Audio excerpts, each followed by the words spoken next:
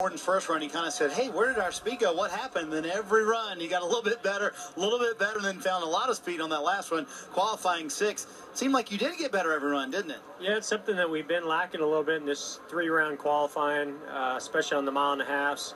Great effort by Alan and the team on this 3M Chevrolet. Uh, that first time out, I mean, I thought I put on a good enough lap, uh, but when we got knocked down to 19th or 20, whatever we were, we got really nervous. So fortunately, that worked out. And then the second run, uh, pushed the car really hard and got on the splitter, and so we got that. It got off the splitter, and the speed just kept coming uh, from there. So yeah, great, great car. I, I, love this place. I love driving laps at this place, and uh, the car feels awesome. So that is a tremendous qualifying effort for us to start, you know, sixth. Yeah, a multiple winner here at Kansas. So obviously you do like the place. How was the car in race trim today in practice?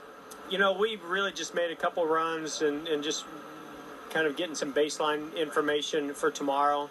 So I felt like we learned some things that helped us for qualifying, and you know we learned some things in qualifying that are going to help us for tomorrow's practice and get it tuned up for Sunday. On the radio afterwards, he said, "Awesome job, guys! Very proud of the effort today." Jeff Gordon qualified.